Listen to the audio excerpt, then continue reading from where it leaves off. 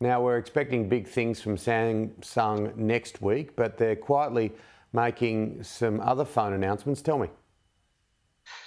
That's right. So after a lot, we're expecting big news uh, next week with uh, a potential S23 phone, and of course, when we see it, I'll have it here and I'll take you all the way through it. But what we're looking at here is the release of a new sensor. Now they had one sensor that was 200 megapixels.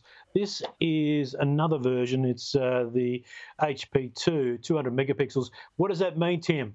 200 megapixels means that they can not only just use that high resolution for really sharp photos, but they can combine a lot of these pixels together to give you better low light performance, better uh, high dynamic range. So I can't wait to see this implemented even better phones down the track. So that's pretty exciting. They also announced this 360 audio recording, which uses your Buds 2 Pro to actually record the sound around you in 360. So that's pretty cool. You know, they've already moved into the Dolby Atmos area with their foldable phones, but uh, you can do that with uh, the 360 recording with uh, your latest Galaxy phone. So there's a number of things that have been announced recently and heading into next week. Uh, we're pretty excited about seeing what uh, the next device is going to be. If it's true and it lands next week, I'll have one right here.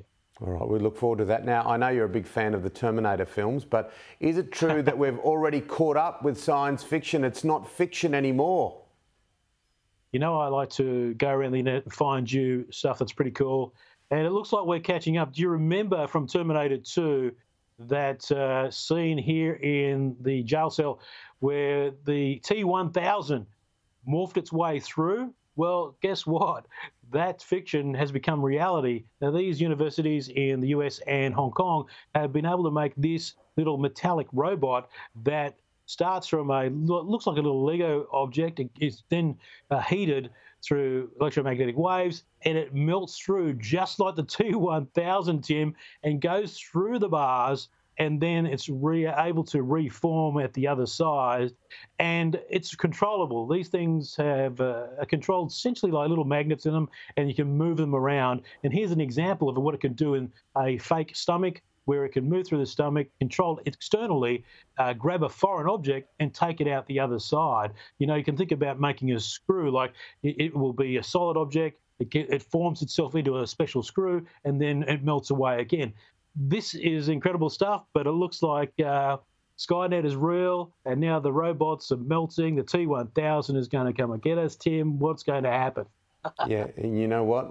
You'll be back next week. I love it. I love Arnie. Good on you, Djuro. Love you. Thanks, mate. Thanks, Tim.